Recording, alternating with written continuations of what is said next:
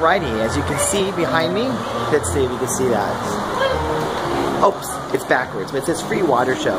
And I'm telling you, it's not half bad. I'll end this little travel tip. So if you're going to the Enchanted Forest, one suggestion or thing you might want to stop by, especially if it's hot or you're looking just to get a break, you want to sit down for about seven minutes.